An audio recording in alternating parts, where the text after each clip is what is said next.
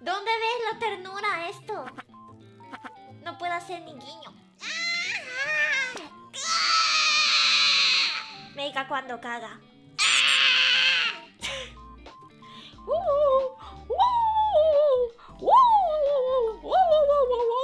Es más lindo de lo habitual XDDD.